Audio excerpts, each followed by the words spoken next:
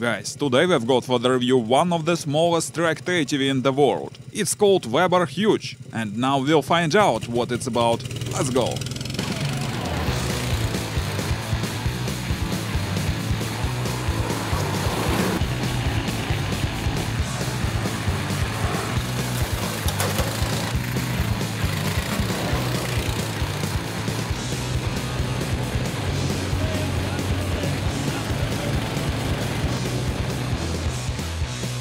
Hi guys, as usually it's me, just a voiceover and you're watching Review Machines. It's winter season now, but unfortunately we still don't have any snow as you can see. But without being said, let's review this unique machine which is called Vebr Huge. For the first sight, this vehicle may seem just a toy, but wait a little before making any judgments, the thing may surprise you. Now we are going to look at it in detail and learn how it's built, and then we will test it thoroughly. And first of all, we'll speak about the construction. Let's go!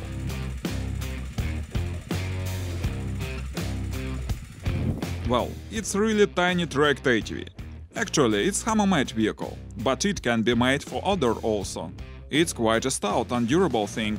It's entirely made of steel, consequently it's rather weighty, about 90 kilos. You can both sit and stand when riding it. There is a seat covered with waterproof material. The footsteps are wide, with anti-skid elements on it. There are two tracks, 20 cm width each. The length is about a meter, and the width is 90 cm.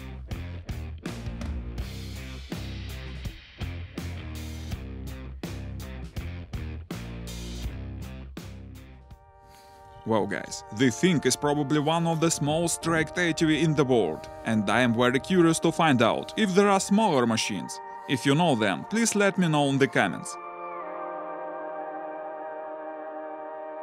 There is a steering system and handlebar. By the way, now it's fixed, but then it will be made foldable. At the left there is a brakes handle, at the right we see the throttle. Now let's see what we have under the hood.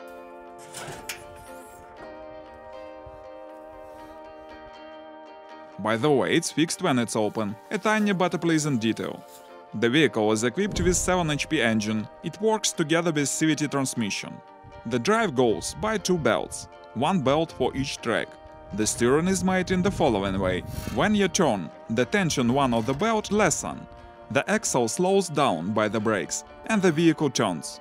As we can see, the whole construction is the simplest, but quite reliable, and I think it's one of the good features of this ATV. And now it's high time to see what this machine can do in practice. Let's go!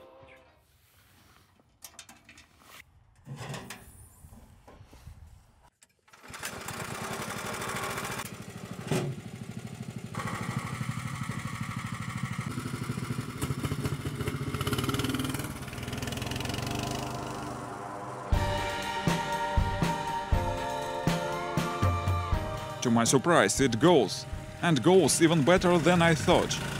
After some time of riding it, there is every reason to say that this ATV is definitely worth existing. My weight is 86 kilos, but it moves swiftly, without any difficulties. Especially I liked how the steering works. You might turn smoothly, without jerks. That is a seldom feature for the most tracked ATVs, and if necessary, you might turn around literally on the spot. Then I was surprised that there is a suspension system. We missed it when was speaking about the construction. So let's see how it works now. To get the access to the suspension system, we should turn the vehicle upside down. And it's a tough task due to the low gravity center. That is definitely good.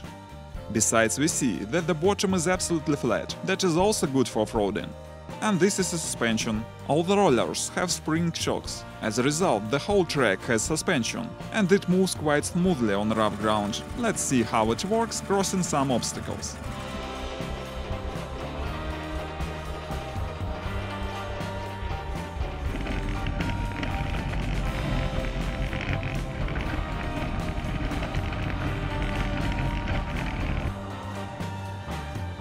Now we are moving on asphalt, and it's a good opportunity to check the maximum speed. As we can see, it's able to accelerate up to 32 km per hour. By the way, as a matter of fact, this vehicle is designed only for one person, but if necessary, it can carry two people on board without any problems. Even the maximum speed is not significantly less, it's about 29 km per hour.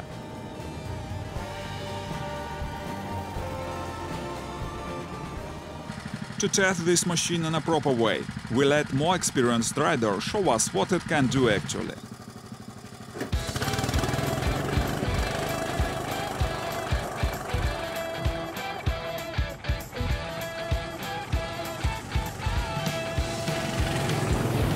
Such a forest roads are probably the ideal conditions for the vehicle. It's real pleasure to sweep through this wood. But frankly speaking, we can hardly call this thing a real ATV. Most likely, it's some kind of off-roading scooter or something like that. The obvious advantages of the machine are the effective steering and decent suspension. On the other hand, there is also an obvious drawback. To my mind, it's hard to find any practical use of this machine. Only one seat and no any trunks. But probably it was made only for fun. Undoubtedly, it can provide you a lot of fun.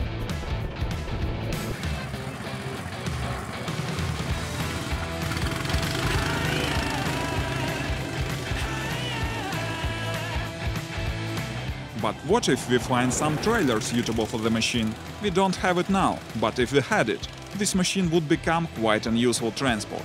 It's compact and maneuverable, it's little fuel, so if there was a trailer, it would be suitable for hunting and fishing, for example. By the way, when there is a foldable handlebar, it may fit a trunk of a crossover, so it would be easy to transport this tiny ATV, and that would be a great advantage.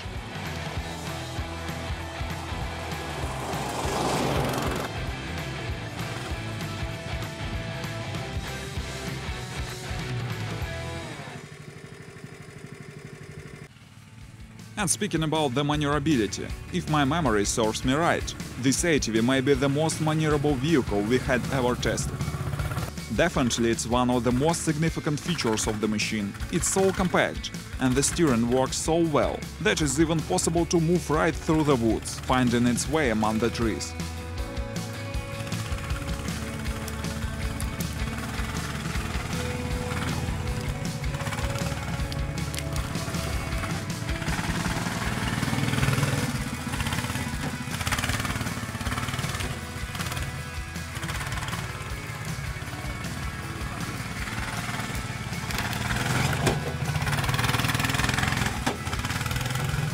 The next important advantage is a simple and effective transmission.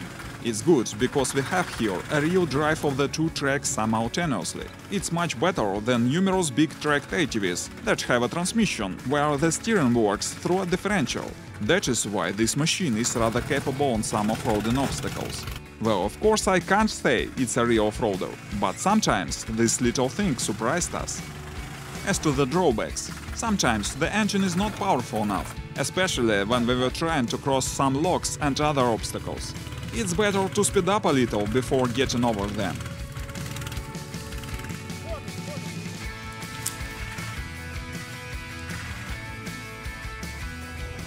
On the other hand, the engine is sufficient even to carry two people on rough ground. Besides, the next modifications of the ATV will be equipped with 9 HP engine, so the ATV will be even more rapid.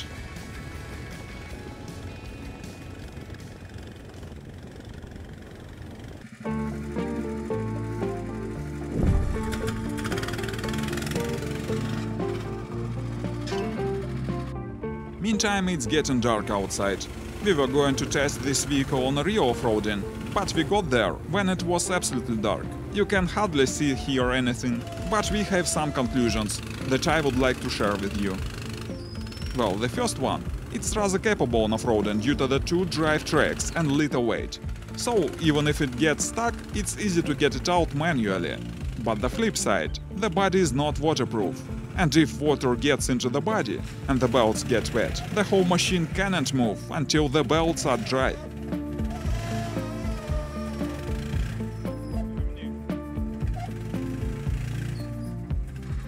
And now it's high time to speak about the prices. If somebody wants to order such a machine, it will cost about $2,000. And it's time to wrap it up now. Please post your comments if you like it or not, and if it's worth its money. Thanks for watching guys, consider subscribing the channel if you liked this video. Stay with us, it will be many more interesting materials here. Goodbye.